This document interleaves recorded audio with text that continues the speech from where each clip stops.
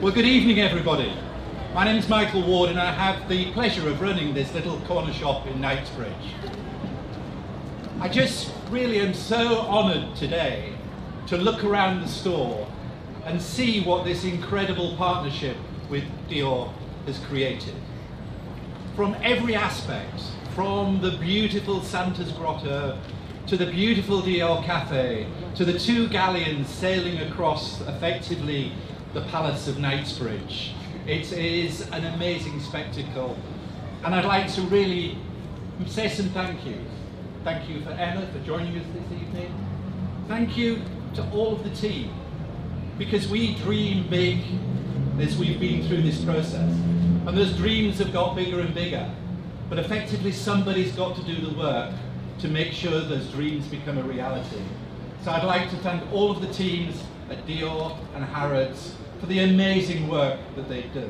Harrods has been partners of Dior now for seven decades, and we absolutely treasure that partnership.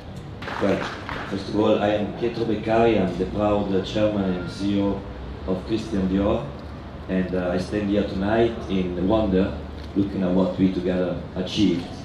Uh, as Michael said, uh, you know, many journalists ask me why Harrods and why Christmas. But first of all, I said Christmas.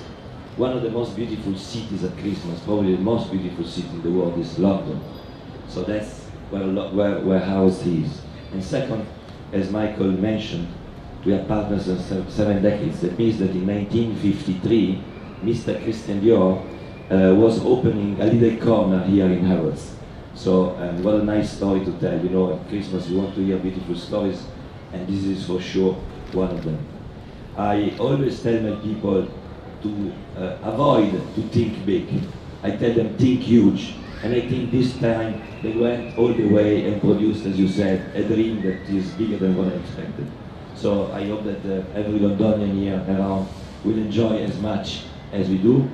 I, Charles Delapalme, my managing director, and Maria Grazia Chiuri, who's not here tonight, but uh, she's in spirit and she helped to create all this decoration. Uh, I'm very proud of, of standing here and I hope uh, you will enjoy uh, the visit to the store and to the exhibition, which is, you know, a little bit of storytelling. At Christmas, we like to hear beautiful stories, and we produce one beautiful story. Thank you very much. So let's count to five. Five, four, three, two, one, zero. Here we go.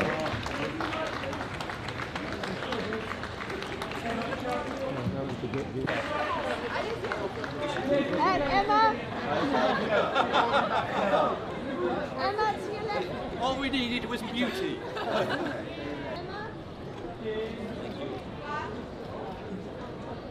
Okay, guys, ready? Big smile. One, two, press. There we go. Really good. Yeah. And can we clap again? Or do we just- Ready? All right, that's it. Come on, up on your own now. Wait, I have a pocket Okay. All right, okay, start in the middle. We're going to throw big smile. That's lovely. Keep looking round. Yeah, oh yeah. Thank you. Well done. Thank you very much. Wait. Bye-bye. Thank you.